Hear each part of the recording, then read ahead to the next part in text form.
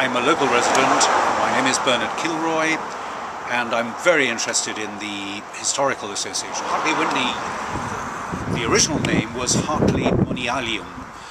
In Latin, that means the the the uh, the, the, uh, the deer park of the nuns, and that was the original name of the of the village for about 300 years between the 13th and 16th century. So that's something that we is very much preserved in the lamb. The reason why the lamb is called the Paschal lamb is because of the associations with the nuns. The lamb is really special, not just to Hartley Wintney, but uh, to the whole of the Hart district.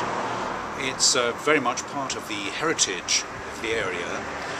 And it's not just the building, it's the, the whole of the historical association. See, the building is only 500 years old, but the site is 800 years old.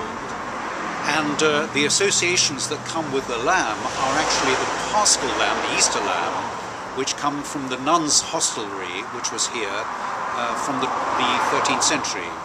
And uh, it was where horses were changed and um, on the main London to Exeter Road.